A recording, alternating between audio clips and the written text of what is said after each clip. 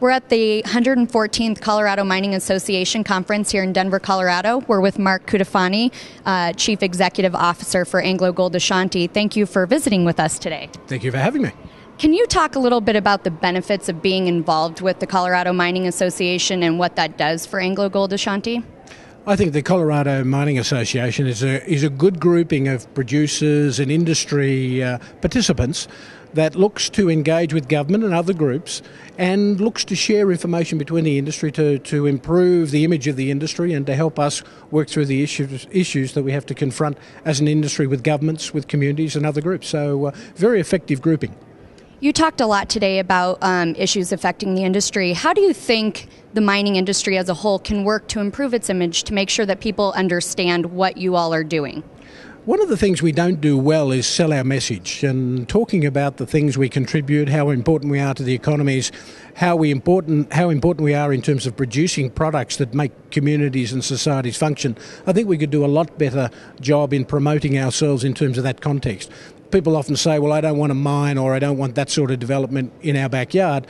But people forget that mining represents only 1% of the Earth's surface in terms of activity. So we're one of the smallest groupings of activities on the globe, but in fact, one of the greatest value contributors for all of our global activities. So we're part of everything, uh, and we need to do a better job in explaining how we contribute and how little impact we actually do have. When when you go into these areas to start um, infrastructure and setting up infrastructure, what are you doing to talk to the communities prior to going in? Well, we, we try and engage at every level. So we try and engage federal authorities in terms of the overall regulatory framework, the regional authorities who have a whole range of different responsibilities in the regulatory process, and with the local groups. So we have to understand the requirements at each level. Then we have to talk to, as part of that process, the local community members. Because at the end of the day, you may be able to satisfy all the regulatory requirements, which are quite often conflicting, but you have to actually create a, a, a, relationship with the local community members who, in the end, are your local communities, your next door neighbours. And to be good next door neighbours, we want to make sure we understand everyone's requirements and try and fit in with all of their needs. Can you briefly um, expand upon what the mining industry is doing in terms of uh, its environmental footprint and that people may not understand that you all are a part of? Well, there's lots of work going on making sure that water remains clean so that we don't pollute water sources, that we rehabilitate and, and uh, recover land that's been used for mining activities, return it back to either its natural setting or its agri- agricultural um, uses in those communities.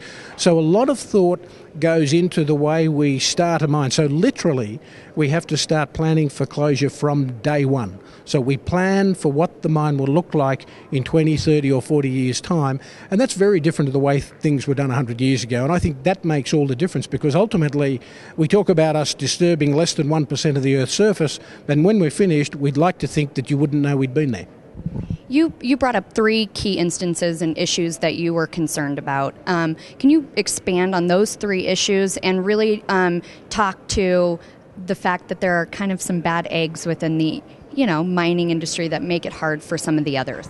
Well, I think the first point I was making that less than 5% of industry participants are probably not doing the right thing, and like in most industries, are probably creating 80% of the negative headlines. So, as an industry, as industry participants like the Colorado Mining Association, we've got to come together and establish codes of conduct and hold people accountable to those codes of conduct. So, that's whether it's at the international level, at the national level, or at the regional level. I think those peer groups are very important in either helping those groups do much better or calling them to account when they don't. And when you're when you're out of favour with your peer group, you really do have a problem. I think the second thing is understanding how we can come together and develop more collective approaches with communities, with the local governments, in developing uh, new projects in a way that enhances society and helps local communities achieve their objectives for themselves, their children, and long term development of those regions. I think we could do a much better job on that. And then, third, I think the whole thing about selling our story to the community at large is the biggest challenge we face as an industry because not only are we the most important or critical industrial activity and have been for 5,000 years, we are the most important industry in facilitating a whole range of other industries, like the agricultural sector providing fertilisers. We don't sell our message very well. Perfect. Well, thank you very much for spending some time with us, and we look forward to seeing more of you throughout the rest of the conference. Thank you.